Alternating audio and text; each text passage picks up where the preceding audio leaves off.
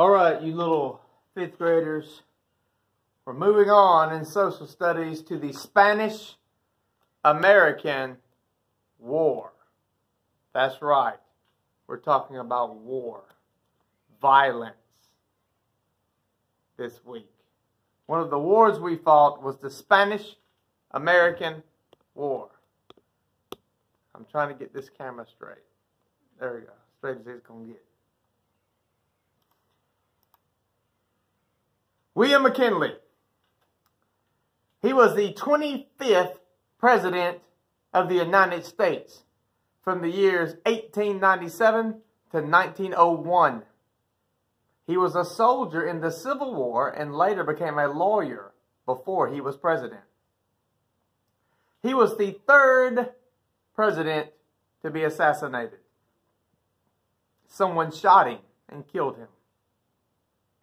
He was the president during the Spanish American War.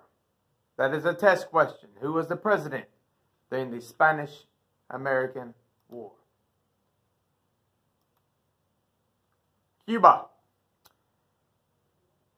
At the end of the 19th century, there was a lot of fighting in Cuba. Cuba is an island. It is also a country. Cuba was under the rule of Spain and wanted to be free. Spain is a country, and it controlled the island of Cuba. The United States was sympathetic. That means they felt sorry for Cuba, but did not want any trouble with Spain.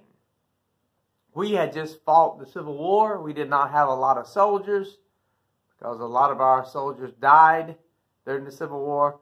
We really did not want to fight with Spain because at the time, Spain was the strongest country in the world. But we did feel sorry for our friends in Cuba. Cuba's right here, this green area. And of course, here we are, the great United States of America. President William McKinley had served in the Civil War, so he knew the horrors of war. He didn't want America to get involved in another war. He came up with a plan to send the battleship USS Maine to Cuba. McKinley thought the ship's presence would calm the situation. So there's a picture of the USS Maine. When McKinley sent this battleship to Cuba to see if maybe just the presence of this massive battleship would calm things down. The plan worked for several weeks.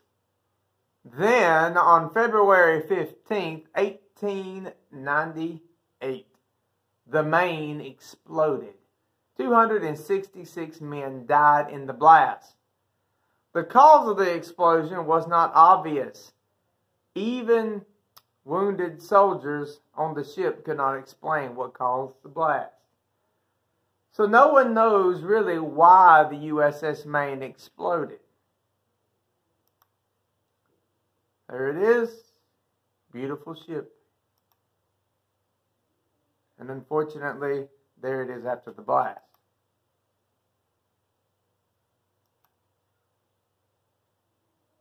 There's a newspaper from that time.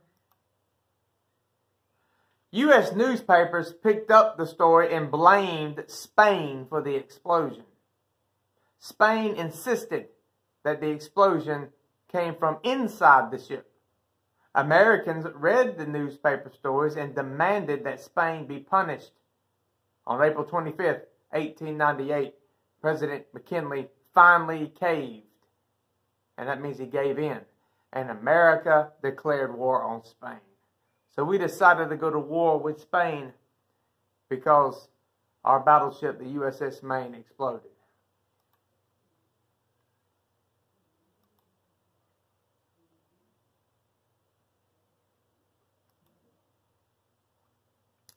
And then we have Roosevelt's Rough Riders.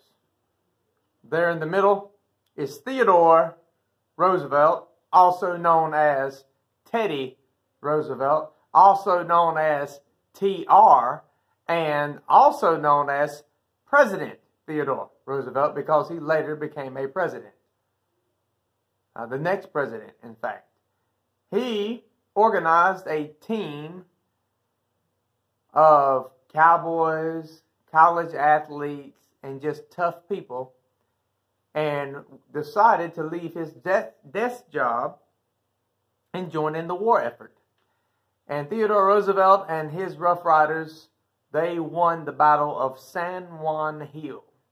Very important battle during the Spanish American War, and it made Theodore Roosevelt a hero in the United States. And he later became President of the United States. You see a drawing, Theodore Roosevelt leading his men to charge and to win the Battle of San Juan Hill.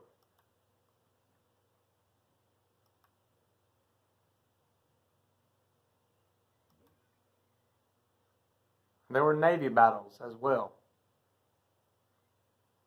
in the Spanish American War. By August, the war was over, and the Treaty of Paris of 1898 was signed in December. Spain granted Cuba its freedom. The United States gained the Spanish territories of Guam, Puerto Rico, and the Philippines the United States emerged as a world power after the victory over Spain. so this is the signing of the Treaty of Paris. So the results of the Treaty of Paris, one more time, you've got to know these three things. The United States became a superpower. We have been a superpower ever since. That means we have been the most strongest country, definitely one of the strongest countries in the world ever since the Spanish American War. Spain gave Cuba freedom. And the United States, we gained the territories of Guam, Puerto Rico, and the Philippines. They did not become states, but we did gain them as territories, and we still have Guam and Puerto Rico as territories today. The Philippines have their freedom. U.S. troops raising the American flag in the Philippines. So Cuba is right here below the United States. Then you have Puerto Rico not too far away, and the Philippines way across the ocean, the Pacific Ocean. And Guam also across the Pacific Ocean. Last but not least,